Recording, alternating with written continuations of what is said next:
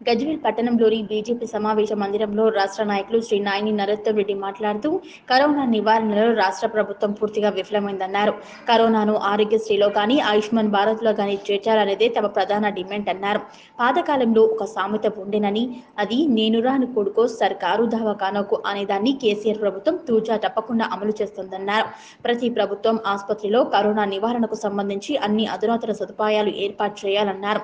కేసులు రోజు రోజుకో విపరీతంగా పెరిగిపోతున్నాయి. కాబట్టి ఒకప్పుడు సిద్దిపేట జిల్లా కరోనా రహితమని ముఖ్యమంత్రి మరియు హరీష్ రావు ఇద్దరు ప్రకటించారు.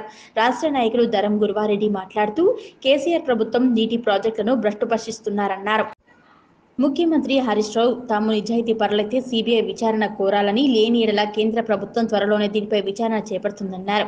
ఈ కార్యక్రమంలో BJP assembly convener Kudikala Ramulu BJP పట్టణ ప్రధాన కార్యదర్శి తూమ్ శ్రీధర్ కొండపాక మండల అధ్యక్షుడు శ్రీధర్ రెడ్డి వరగల్ మండల అధ్యక్షుడు శ్రీకాంత్ సీనియర్ నాయకులు సిల్వేరు జనార్దన్ మరికంటి ఏకొండ అరవింద్ కుమార్ ప్రభాకర్ శేఖర్ నత్తి శివకుమార్ నవీన్ హనుమంతు తదితరులు పాల్గొన్నారు.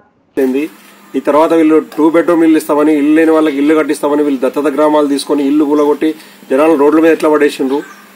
మీరు పురాతన ఆలయాలు నాలుగు వందల సంవత్సరాల నాటి కాకతీయుల కాలం నాటి మన రామ రామాలయం సీతారామాలయం కానీ ఉమామహేశ్వరాలయం కానీ దీని ఇష్యూ తీసుకొచ్చినప్పుడు రెండు రోజులు ప్రోపగండ కింద అటు ఇటు ఏదో గుమ్మడికాయలు దొంగ అంటే భుజాలు తడుముకొని ఏదో చల్లం వచ్చినట్టుగా చేసి మళ్ళీ నిద్రపోయింది సుప్తావస్థలకు పోయింది ఇక్కడ ఉన్న ప్రభుత్వం.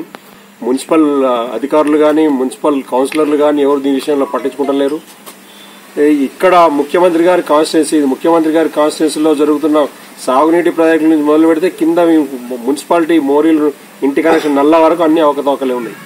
ఈ అన్నిటి మీద కూడా నేను ఖచ్చితంగా మేము కేంద్ర ప్రభుత్వం కోరి ఇక్కడ సిబిఐ ఇన్వెస్టిగేషన్ చేస్తాం ఈ సాగునీటి ప్రాజెక్టుల మీద. కేసీఆర్ గారిని మా జాతీయ అధ్యక్షుడు ప్రశ్నించిన అంతకుముందు నుంచి కూడా ప్రతిసారి మా రాష్ట్ర అధ్యక్షుడు బండి సంజయ్ గారు కూడా ఉత్తరాలు రాస్తూనే ఉన్నారు ప్రతి విషయంలో కరోనా విషయంలో ఫెయిల్ అయిందే గానీ రైతుల ప్యాడీ విషయంలో ఫెయిల్ అయిందే గానీ సాగునీటి ప్రాజెక్టుల విషయంలో ఫెయిల్ అయిందే గానీ మిషన్ భగీరథ విషయంలో ఉన్న స్కామ్స్ మీద గానీ దేనికి కూడా సమాధానం లేదు.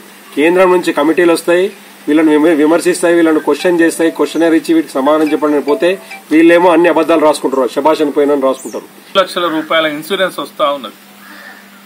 ప్రభుత్వం ఆరోగ్యశ్రీల కరోనాను చేరుస్తలేదు కేంద్ర ప్రభుత్వం ఉన్నదాన్ని తీసుకొస్తలేదు.